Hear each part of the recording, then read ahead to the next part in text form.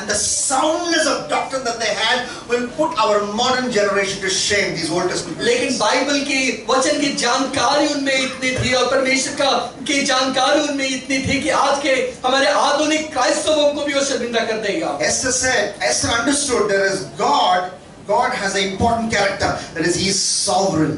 और एस्टर ने एक चीज़ समझा कि परमेश्वर जो है वो सबसे ऊँचे हैं Esther understood God is not a hotel waiter और एस्टर ने ये सम, ये जान लिया कि परमेश्वर किसी होटल के वेटर नहीं है। You come you go no he is not you can come and God like that he is not he is not waiting on you you are not eating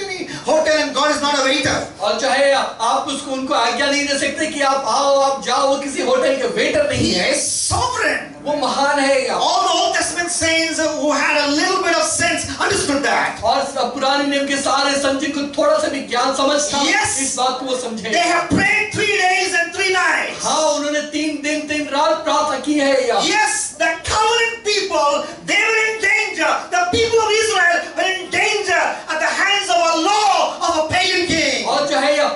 परदेशी के बादशाह के लोग यहूदी लोग जो है एक एक मूर्ति पूजक राजा के हाथ में उनकी जान की खतरा था। Yes there was a promise in the Bible in black and white that they can not be wiped out और जो है बाइबल में एक वादा जो है वो लिखा गया था कि जो जो कभी मिटाया नहीं जा सकता। But it is sovereign plan as to who the human instrument will be to save his people. It can be Esther or it can be anybody else. So that's why she says, we will fast and pray, but if I perish, if the king would kill me, I perish. I can't do anything about it. I'm ready for it. और ये परमेश्वर का योजना था जो इसकी वजह से ये हो रहा था और ऐसा ये कहती है कि कि मैं मैं जाऊँगी राजा के पास अगर मैं नाश हो गई तो मैं नाश हो गई know, very often we don't come into this come what may relationship with God because we think we are very important. और जो है कई बार हम इस तरीके के के हालात में नहीं आते कि चाहे जो भी हो जाए क्योंकि हम सोचते हैं कि हम बहुत मुख्य हैं। We think if god has to reach goa it just has to be through me. और हम सोचते हैं कि अगर परमेश्वर अगर गोवा भर में पहुँचना है तो मेरे द्वारा ही होगा।